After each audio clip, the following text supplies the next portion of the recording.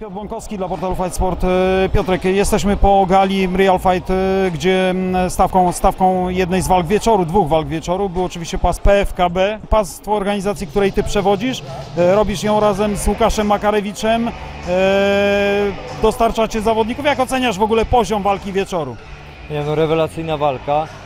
Uważam, że takie właśnie powinny być walki w K1 zawodowe z przełomami. Może może trudno mówić o przełomach, ale ta walka była dramatyczna. E, Wojtek walczył do samego końca. Do ostatniej chwili próbował jeszcze coś zrobić, mimo tego, że był wielokrotnie w opałach. Bartek świetnie przygotowany. E, największe widowisko moim zdaniem wieczoru. Jeśli rozważymy tutaj e, powiedzmy te kickboxerskie pojedynki w klatce, jak ty na to patrzysz? E, Jednak e, no, to, to jest trochę środowisko, które jest troszeczkę inne od ringowego i generalnie kickboxing stara się trzymać jednak tych ringowych reguł. Jak oceniasz tutaj? To nie przeszkadza, że klatka? Nie, ja uważam, że jesteśmy w strefie zawodowych walk. Robimy tu widowisko, prezentujemy umiejętności, sami kreujemy to, jak ma wyglądać. Nie jestem za tym, żeby trzymać się sztywno reguł, zwłaszcza w zawodowstwie, więc y, ja uważam, że klatka jest też taką szansą do e, połączenia tej drapieżności klatki jednocześnie z widowiskowością K1. Te pojedynki MMA nie zawsze są widowiskowe. Na pewno są bardzo techniczne, na pewno wymagają wiele siły, przygotowań, e, wszechstronności, ale e, pojedynki K1 niosą na sobą widowiskowość i połączenie to z, tą, z tym klimatem i drapieżnością klatki wydaje mi się dobrym pomysłem.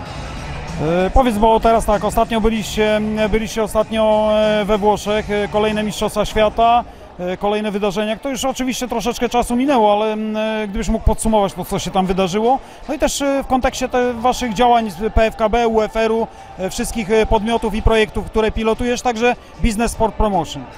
E, Wróciliśmy właśnie, tak jak powiedziałeś, w poniedziałek z unifikowanych Mistrzostw Świata. Jest to e, ogromna impreza, która zrzesza 30 f- międzynarodowych federacji, które zamiast robić małe, marginalne imprezy rangi mistrzowskiej, e, to robią wszyscy razem. Wszyscy razem to organizujemy. Zostało to postawione na korzeniach WTKA.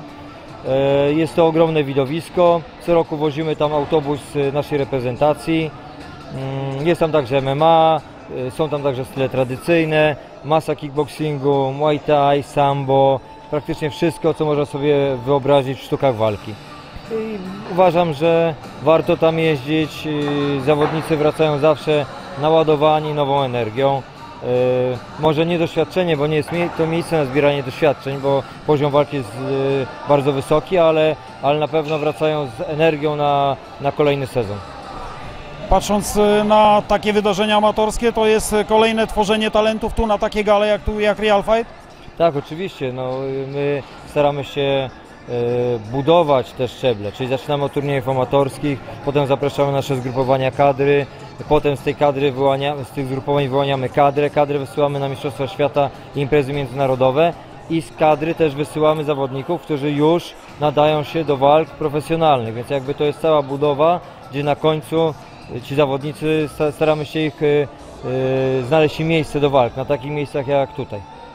To co, e, gratuluję przede wszystkim e, tego, że pas trafił w dobre ręce, tak, no bo Bartek Wydra to jest naprawdę Nie, no, zawodnik, który się zawodnik, podoba. walka. Ja w ogóle chciałem powiedzieć, że no, jest to już chyba trzecia nasza, czy czwarty na, rok naszej współpracy z tą imprezą. Nie, to była trzecia edycja, czyli trzecie, trzeci raz współpracujemy. Zdaje się, że na pierwszej edycji Mateusz Szczewocki, Mariusz Szczewocki, przepraszam, Mariusz Szczewocki zdobył pas mistrza e, Polski UFR-u. E, Mariusz też dał świetną walkę tutaj, naprawdę. Te dwie walki związane z naszą federacją były dla mnie rewelacyjne. Nie ujmując nic zawodnikom innych pojedynków, bo też były świetne walki i też oglądałem to z zapartym tchem. I poziom organizacyjny imprezy jak zwykle świetny. No to tylko się cieszyć, czekamy na czwartą edycję, nie wiadomo czy za rok, czy musimy aż rok czekać, bo może będzie szybciej, oby się udało. E, No i co, widzimy się pewnie przy okazji kolejnej, kolejnych wydarzeń Real Fightu. Na dobre rzeczy trzeba poczekać. Myślę, że organizatorom też się nie śpieszy, żeby spalić markę i, i strzelać jak z kar- karabinu maszynowego. Myślę, że e, Krystian lubi się przygotować ze swoimi imprezami i stąd ten poziom, ale zobaczymy kiedy będzie następna edycja i gratuluję i zawodnikom i organizatorom. Piotr Bąkowski, prezes PFKB, prezes e, Business Sport Promotion i także e, projek- projekt UFR-u, Dyrektor, sport, dyrektor sportowy Business Sport Promotion. dyrektor sportowy Business Sport Promotion. Dziękuję bardzo. Dziękuję serdecznie.